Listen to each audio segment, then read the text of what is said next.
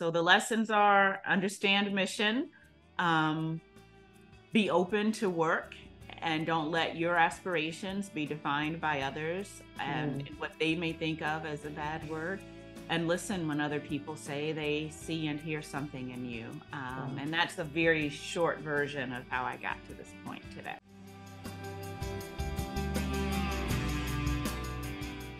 Welcome to Student Affairs Now, the online learning community for student affairs educators. I'm your host, Mamta Accapadi.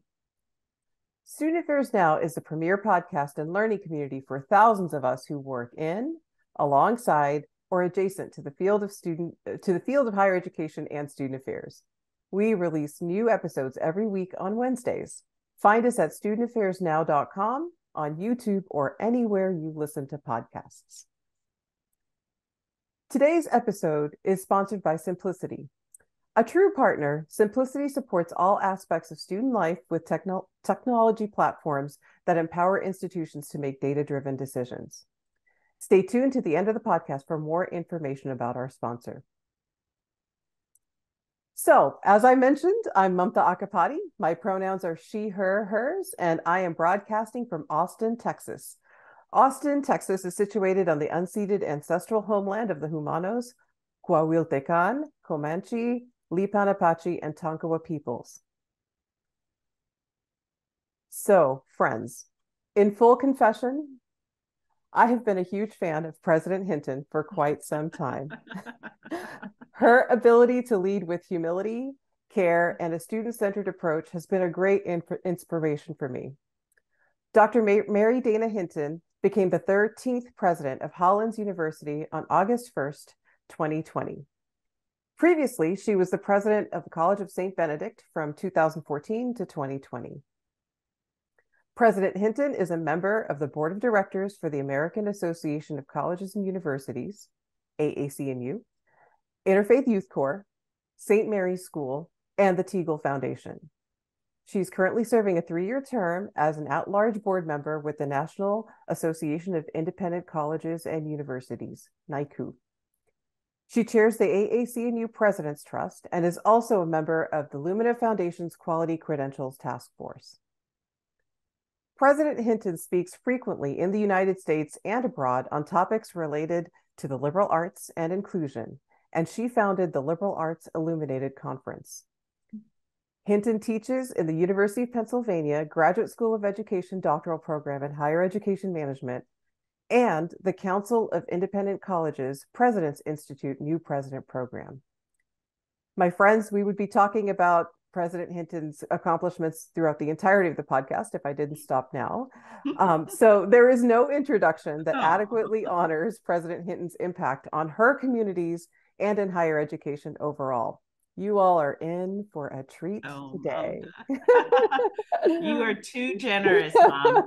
Thank you. That oh. was lovely and overly generous. And you bring good people to you. Your light oh. and your energy that you put out into the world draws, I think, the best out of others. So I'm oh delighted to be with you today as well. This is such a treat. So it's such a gift again to be with you. And so just um, for the listeners who haven't googled you in the way that i have and for for you know and of course there's you know an, an, an infinity of spirit experiences and lived experience journeys that you have to offer can you um, just briefly share your journey into higher education leadership uh, with us yeah, you know, I we are less than a week past commencement here at Hollins University, um, which is located in Roanoke, Virginia. We're women's college, and um, it's less than a week past commencement. It's the day before reunion. So I've been thinking a lot about trajectories and paths and pathways. And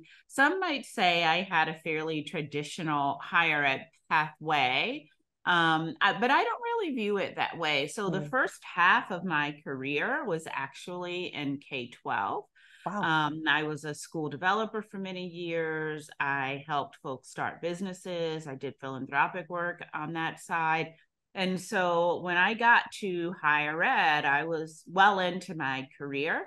Um, mm-hmm. And I think that that experience in K 12 really helped shape my leadership, um, my leadership agenda, if you will, in higher education. And what I mean by that is I think it's so important to not just think about one's own institution and one's own sphere of influence, but you have to realize that the work that we do in higher ed is inextricably linked to what happens in K 12.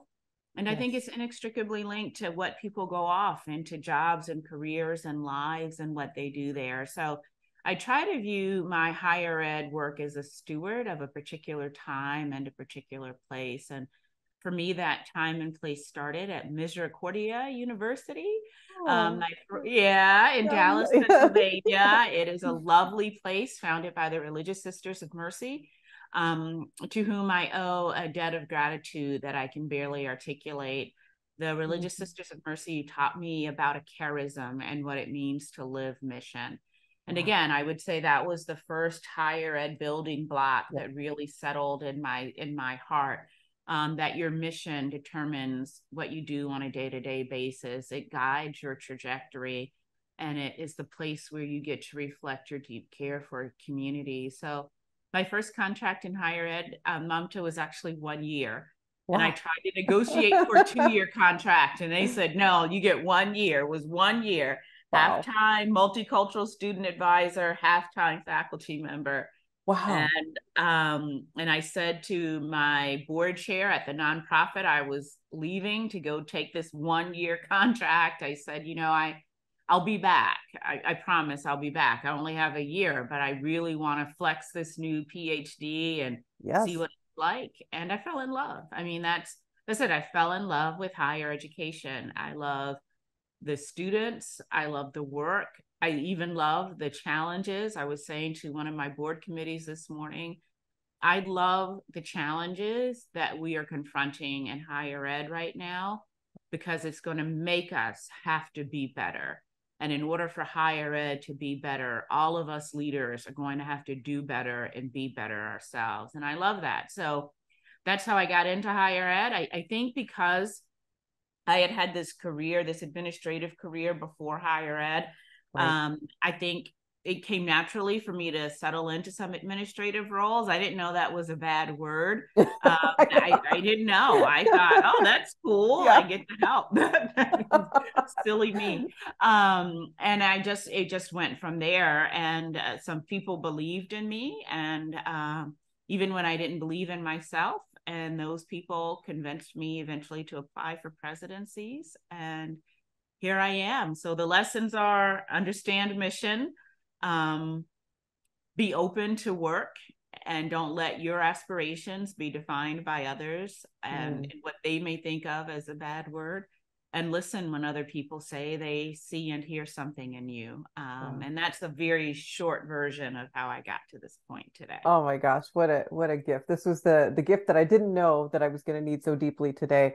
Um, I, I, I hear you and you know I, I love this this concept of um, mission beyond position right? And so yeah. it sounds like you've been on a journey and you've been um, you know always discerning uh, of mission along any kind of experience that you've had. And i really love that reminder because i think sometimes we can very specifically think about the positions we have and maybe mm-hmm. miss that greater perspective of what is my mission you yeah. know in, in a in a grander scheme and so thank you so much for that yeah. um, invitation yeah. and then the other thing I, oh yeah go ahead sorry no go ahead I was just gonna say, I think there are two yeah. missions, and I didn't realize yeah. that until I was a little into my first presidency. So uh-huh. I think for those of us who are faithful to the institutions we serve, I think we know our institutional missions by heart, and that is so important. And, and that is certainly what the Religious Sisters of Mercy emphasized with me was you've got to embrace the mission. And I think they would say charism of the institution you're serving, which is so important but it, a, a, little while into my leadership as the president of the College of St. Ben's, I began to really think about what is my personal mission? Oh. So, what does it mean? What am I called to do? Mm-hmm. What is my purpose? What am I committed to? What are the lines that I have to draw that I won't cross? And then at another level, it was why is that my mission? And how does understanding that why inform how I live my mission on a daily basis. And as a as a leader and as someone who likes to work with emerging leaders, I often say the mission of the institution you serve and the mission of your heart, mind, and spirit have to be aligned. Yeah. And if they're not aligned, it's going to be really hard to find success. Um, and we don't all have the same mission or the same calling yeah. or vocation. The world needs us all and it needs yeah. us to live into our missions. And I'm just really grateful that I've been able to find institutions that I wherein there is alignment and where yeah. our missions resonate with one another. Oh yeah, just uh, so beautiful. And as I think about my next question for you, um, uh, you know, having come from the world of student affairs in my own career, something that I, you know, very much believe has been a core part of my mission, uplifting the sacredness of students.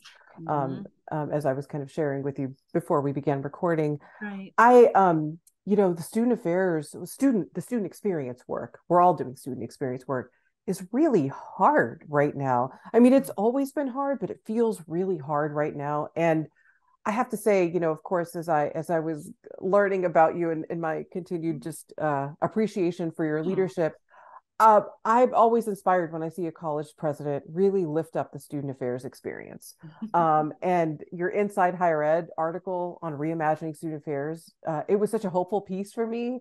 Um, and you. I guess, you know, as, as we're kind of reflecting today, what would you want listeners of this podcast to consider about the student experience today? Mm. Like for any mm. of us who are listening, how might we elevate our work, adjust our energy, a- any of kind of guidance that you would have yeah. on that?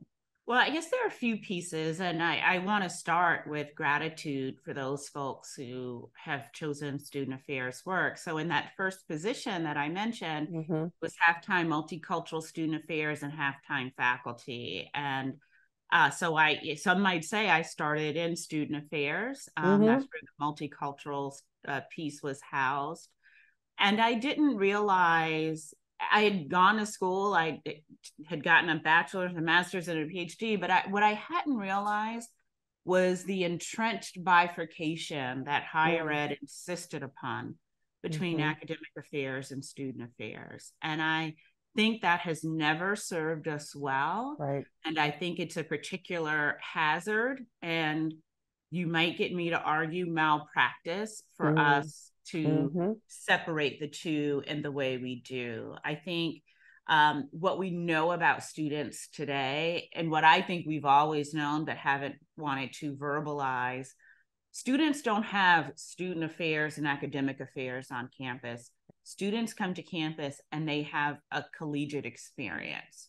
Right. And it's made up of all these pieces. And out of a 168 hour week, the majority of their time is not spent in the classroom. Now they spend a lot of time reflecting on the classroom. I hope, debating, reading, preparing, but an awful lot of their time is spent in those spaces that we've that we've set our student affairs mm-hmm. spaces. And so I've been calling for a student experience as opposed yeah. to student affairs and academic affairs for a long time. And I'll tell you a funny story. I remember the first time I was working on a redesign. My first administrative job was director of a core curriculum. And as we always are, was going through a change. And I said, well, we want to make sure we have student affairs and academic affairs on the committee because when you change the core, you're changing students' experience. Right. So everyone needs to be at the table and one of my colleagues said in a very serious manner, why are you trying to ruin higher education by forcing student mm-hmm. affairs and academic affairs to be together? And I thought, I thought that just made sense, right? That we want to think about the student as a whole human being um, what I didn't know then and that I use often now is a quote from Learning Reconsidered 2. Now, Learning Reconsidered yeah. 2 is one of my favorite books. Um, if, if we want to bifurcate, it's on the student affairs side of things, but it is one of my favorite books.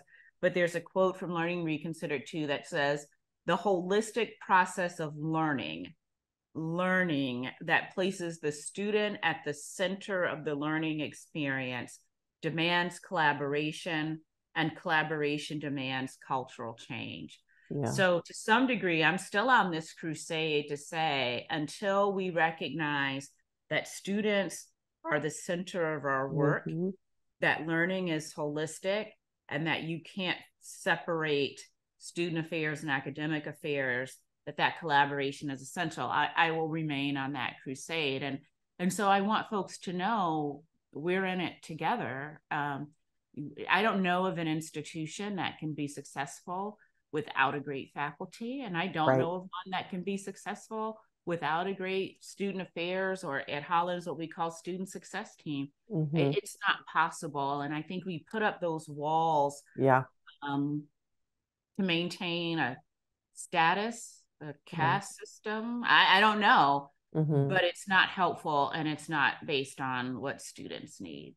Well, and I think, you know, as I hear you reflecting, I have a funny story too um, when I worked at Rollins College, um, yeah. which our school's name Florida friends. Yes. Yeah. Um, and it, uh, I remember when I was dipping into the world of our regional accrediting body, the Southern Association mm-hmm. of Colleges and Schools, and it was interesting. Um, if not for the partnership with with our colleague, the associate provost, who coordinated um, all of the right the the work, the preparation work for when our regional accrediting partners come to our campus, and we in student affairs were exempt from submitting learning outcomes um, um, and because it wasn't asked of us right? It kind of in, in wow. the documentation mm-hmm. materials. I mean you know a lot of compliance based work which of course we need to submit. And i remember I, I remember reaching out to my colleague and i was like I know I need us to submit learning outcomes. Yeah. uh, th- this is important to me. Yeah. And I realize that it's extra work for everybody involved, but we are a learning organization right. and, it, and it was interesting and and that really shifted the culture of how we identified and and, and elevated our work because we could connect the learning um, to your point it's That's it's how do we have a shared affection of right. of the learning experience with one another so your your story rings 100% and it is harder now you're right i think student affairs i think some folks went into the business because it was a, a really joyful place to do mm-hmm. work and it's hard now i mean it's yeah.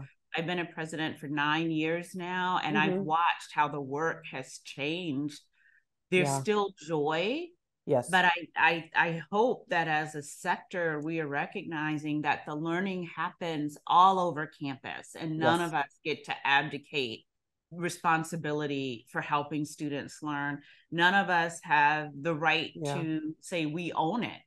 Right. Our institutions are learning institutions, which means we must be learning in every venue. Yes, absolutely.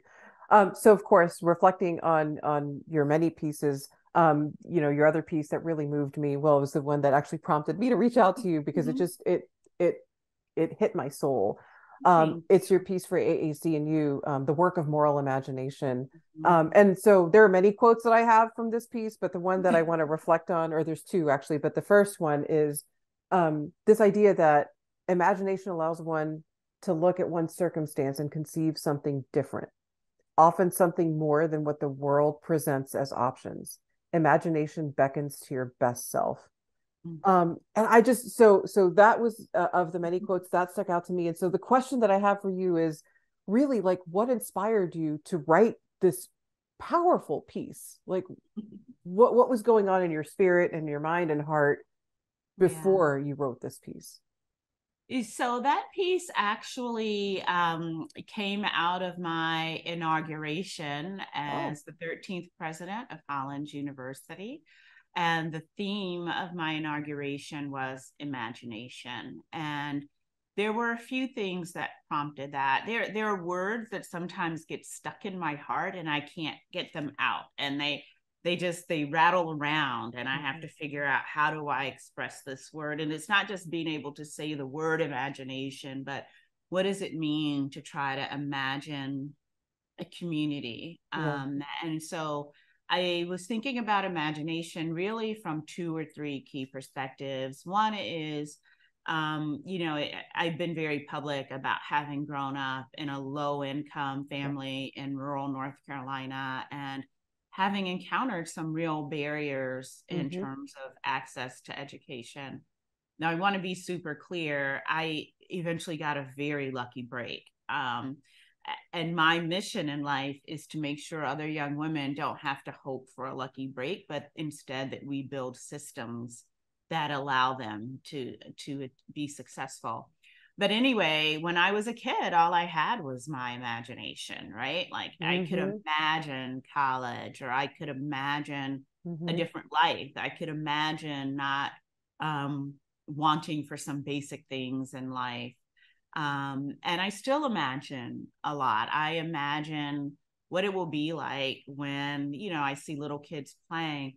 What will it be like for them to be able to go to any college they want yeah. to attend and how, what's my role in making that happen i want to imagine for young women what does it mean to own your voice yes. when the world tells you you don't own your voice what is that like when you do and when you have that realization so in many ways my imagination um saved me i could imagine wow. something different when reality was sending one set of messages when reality is still sending a set mm-hmm. of messages today when people want to erase your humanity and your history and your choices you've got to imagine something different and then mm-hmm. set about doing the work and to right. me that is what education does higher education should unleash the imagination of the students we serve and say to them, if you can imagine this, let us build the structures and the systems and the supports and the opportunities so that you can then go for it. Yeah. Um, but you, I worry that we curtail imagination yes. now that we say, oh, that's a fanciful thing for kids. Yes. And um, it's not. It's what it's what encourages you to change the world it's what says to you, Mamta, you have something special to offer the world. Mm-hmm. And I believe in that. And I want to create a pathway for yeah. you. Um, so I, to me, there's nothing more important mm-hmm. than imagination and, and the liberal arts in so many ways Absolutely. uniquely prepares you to shape your imaginings in such a way that it's not just about you as an individual it's about the common good, the greater good, and dwelling in a community. Yeah, I really feel, you know, when I hear you talk about imagination, I feel like it's this experiencing of an untethering of hope from fear. That's right. Oh, right. Oh, that's and beautiful. and so I just uh it, it really is so inspiring and and also, you know, coming from, you know, the work that you've done, the work that I I have done in the past. Um, how do we do that work when our students come to our campuses uh, hungry mm-hmm. um, and they're coming with a different set of life circumstances right so we have you know as we see increasing students you know that are coming from you know systemic and generational yeah. poverty experiences um, or students um, as as we think about kind of the the foundations of anxiety that are yeah. you know embedded in our society i mean really um, what we're seeing on our campuses are really reflections of kind of what is happening in our society That's overall right. but how do we steward that um, and how do we then adjust our practices to mm-hmm. what our students need now like you know those are we, such yeah. good questions i actually think we have to start by acknowledging it mm-hmm. i think mm-hmm. there's some comfort in us either pretending like that's not students reality or right. Being surprised by it and mm-hmm. I think we just have to acknowledge that that is reality and that there's yeah. neither blame nor value judgment placed on it. So we are all seeing students struggling coming out of the pandemic. It's not the kids' yeah. fault. It's not no. K 12's fault. It's not their parents' fault. It was the pandemic, right? But how do we say, I know you're going to come in with with different needs and needs that yeah. are all across the spectrum right? Like some kids were really able to thrive, and yes. some kids couldn't get out of bed. Right. And so we have a responsibility to serve them all. And I think we have to say that. And I think we have to stretch ourselves to meet students where they are. So I think the first step is acknowledging it.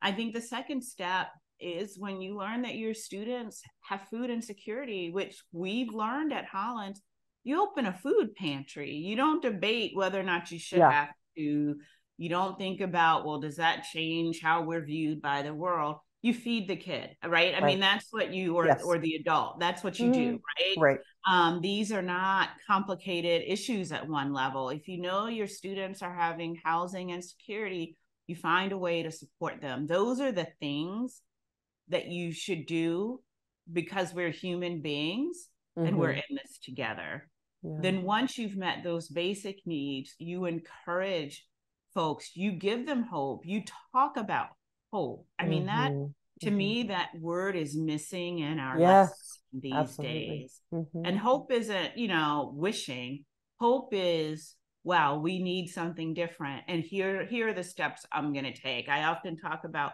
hope as a weapon and i don't generally use that sort of. Yeah. um, Mhm. example or frame of reference but it is a weapon Mhm. because if you take hope away from people all Mhm. they have left is fear and you see just chaos and disruption. So but if you give people hope they can do Mhm. nearly anything and and i believe that quite strongly. So um so i think we have to give young people hope. We we have to let them know that they can do things and their path may not be the same as my path but as long as we're on the path together we can we can do anything. And and i guess the final thing i'll add about that is and i my students faculty and staff at hollins hear me say this all the time the issues are so complicated today and the barriers are many and the challenges are numerous so at the end of the day the one thing i know i can do is love you Mhm. and so i hope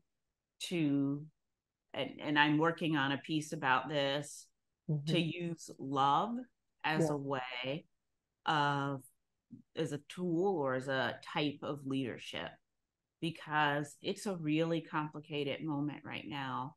But if i can look at someone um, and say i want to be in relationship with you so that you are your very best version of yourself and i'm Mhm. the best version of myself then we can solve problems. And i want to be in this relationship when we get along and i want to be in it when we don't get along I Mhm. want to be in it when I agree with your choices. I want to be in it when I don't agree with your choices because I want you to be your best self and I believe you want me to be my best self. So I, I, I talk about love as that leadership tool these days. And they Mhm. don't tell you to do that in new president's school. No. So maybe I'm doing it wrong, but that's the No. that's what I have left, hope and love. Yeah, I uh absolutely. I mean, I, I join you on that journey. Um, you know, also in my prior experiences, we as organizations um talked a lot about love. I um was the a beneficiary of having uh, one of my favorite and one of my most meaningful mentors, Larry Roper, former vice Mhm. president or vice provost for student affairs at Oregon State. He Yeah. always encouraged us to to bring love into the equation. So it's just really affirming to hear you also invoke that. And we need to bring that into all of our school, you know, every in, in graduate programs, I think we can Yes. and should be talking about this notion of love and and uh, as an unconditional commitment. I think what you described, Right. right? In in any context, what would that look like? Yeah. So agree. yeah, I was going to say as we continue to talk about love, um, how do we situate lo- uh, love with again the heaviness of the work? Um, so as I look around, um, you know, and see my student affairs colleagues, and I think about you know um, just the things that are asked and uh, that are asked of us, uh, particularly. I mean, it was happening before the pandemic, but I think again the pandemic accelerated a lot of reflections for many of us. Um, how do we reconcile love of other and love of self? How do we reconcile the things, you know, just what we're asked to do in service of our students? And how do we stay healthy um, in doing that work? Um, what advice would you give us around uh, lifting up the heaviness of the work um, and and staying in that space of love? Yeah. There's a saying, um, and I'm gonna not entire, I'm not gonna get it exactly right, but it's something like grief shared is halved and joy shared is doubled. And so, um, and I think of that with this question because you have to find people around you with whom Mhm. you can share the heaviness of the work. mm-hmm. um, and you can share your heaviness with them and they can share your their heaviness with you and it is about an intentional network of people not i'm not big on just venting and complaining mm-hmm. that's not my thing there's there's mm-hmm. definitely a place for it it's yes. not my particular thing but mm-hmm. whatever your thing is find the people with whom you can share that and share that so that they carry some of it with you because mm. it is too much to carry now. I, I would say even nine or 10 years ago, you could carry most of that stuff. And, you know, you hear about the lonely leader at the top. Mm-hmm. You could be lonely a, er, few years ago. You can't afford to be lonely leading now. It's just too much. It's not healthy. It's not good for your own um, mental health and well being. So you have to find people who you can share the heaviness with. Mm-hmm. You have to hold space. I, you know, yeah. one thing I'm thinking about a lot is how do you hold space? So very often I'll start my cabinet meeting mm-hmm. with tell me what you're bringing into this space that's wow. going to that we're going to have to acknowledge, honor, and deal with before we get to the work. So hmm. creating mm. that space by intention in meetings, because we're all human beings, we're all Absolutely. bringing something with us, right? Mm-hmm, mm-hmm. And so, how do we acknowledge that and hold space for that to be mm-hmm. present? Which I think diffuses it a little bit, or at the very minimum, it says to your colleague, I'm going to hold some of your grief or difficulty or mm-hmm. challenge with you. At the same time, I worry that it's it's almost like we're not allowed to feel joy these oh, days that it's yeah. a, sort of an olympics to see who's having the worst time and and i i don't think that's healthy either we've all mm-hmm. got something in our lives to be joyful about and you know if nothing else if you've got food on your table and a roof over your head celebrate that eh, but i think mm-hmm. we're fortunate to have so much more than that Mm-hmm. We have students, we as I said, we just got through commencement. You can't watch students walk across a stage and not feel joy. I mean, you just you just can't. And mm-hmm. yeah, I know the troubles it took to get some of them to that stage. Right. But feel joy. And in the same way, I encourage people and I try myself to share my challenges, share your joy, invite mm-hmm. someone into your office for that happy dance with you. And and those may seem like Pollyanna things, but yeah. if you can find 15 minutes of joy to share with someone each day, it makes your day better.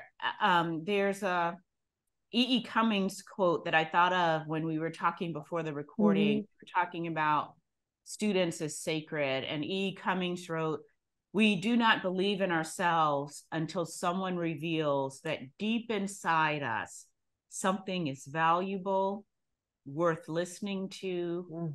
worthy of our trust, and sacred to our touch. And yeah. we deserve that. We are all sacred and worth listening to and worthy mm-hmm. of trust. And so we have to not only open ourselves to receive that from others, but we have to believe it about ourselves. And I think women in particular struggle with believing that yeah. about ourselves. Um, and just as we are, we are enough. Yeah. And there are many days, um, to, Mamta, Mamta, where I have to say that to myself. You are enough. I have mm-hmm. bracelets that say you are enough. But I think real recuperation and rejuvenation comes from giving the compassion you give to others to yourself. Yeah you know over this past year um, as i've you know transitioned careers and roles you know i've um, in in different spaces of reflection one of the things that has actually lifted me up is this idea that whatever my journey is is a, an ancestral experience that's healing mm-hmm. so i might not know what what that healing was generations before me but something from the past is healing by virtue of my existence i love simply that. and and so um, I think sometimes, um, and I, you know, again, in, in my own cultural traditions, you know, this this notion of, of challenging time, right? We think mm-hmm. of time from our existence, or even right. plus or minus, you know. But if we transcend that to generation and even multiple generations, now, what would that arc look like? And then how could we experience hope, kind of in the way that you're talking about, which is um, just so deeply moving. So you've asked us to think about joy, and I would mm-hmm. I would love to hear and learn from you how you have found or claimed joy on your journey. Yeah. Well, I confess that commencement's my favorite time of year. yeah, absolutely. And so I do, I just find joy in that. I find joy in asking consent and when granted, hugging my students, um, but that's important. I find great joy in that. I find joy in meeting with faculty and staff to work on the strategic plan. And I know someone's like, oh, something's wrong with this. but I find joy in locking arms with folks and saying, we're going to vision a new way forward. That brings me joy. I also like like you find a lot of joy in thinking about how I got here. And mm-hmm. so um I, there's an article that I wrote and I put it in the chat for you, Mamta. It's called The Whisper of Dangerous Memory. And for about 18 months, I was really compelled with this notion mm. of why am I a hopeful human being? And I mm-hmm. was just thinking about my ancestors who survived the Middle Passage. Yeah. What was their experience when they landed on these shores? Did they have any hope? Mm-hmm. And how does that get translated through DNA? Mm-hmm. What does that mean and i think about that every every yeah. day. like how can i literally be as the poem says the hope and the dream of the slaves that is that is me and i carry that both heavily on my shoulders mm-hmm. because i mm-hmm. owe that to the ancestors but i also carry it gently in my hand and in my work each and every day people quite literally died for yeah. us to be in these roles. Yeah. Mm-hmm. And what a privilege and responsibility it is to honor their lives through our work today. And while that sounds very heavy, it, it also does give me joy because it means that when I am long gone from this place, there will be young people who I hope will have an opportunity because of something yes. I did Absolutely. And that that brings me joy. So when I think about the work, what can I do to create that pathway for someone who will never know my name? And that that brings me joy as well. I love that. What can I do to create a pathway for somebody who will never know my name? That is just such a powerful thank you reflection and I'm so grateful for you. Um so I have one last question for you. Yeah. Um I could talk to you for days. Um, we could talk all day. We should tell the audience yes, that we chit chatted for a long time before. I, I kind of barreled on just no, mid conversation. I'm sorry, Mamta. Uh, no, I was, you know, it just, I mean, to to feel this instant, the the, it is such a testament to who you are that on an instant somebody can feel like they have known you for a lifetime and you so do that again, as well thank Mamta. you I, uh, we were meant we have finally um, lived into our um, destiny meeting one another. Oh uh, yes I, I, will receive that for sure. Um, so my last piece is what advice would you you know you have a lot of student affairs colleagues listening. What advice would you offer um, you know an advice a meditation what would you offer this group? Hmm. Wow. So again, I want to start with offering gratitude because mm-hmm. I don't yes. think people see the work with the deep respect with which it deserves to be seen. You quite literally keep our students alive.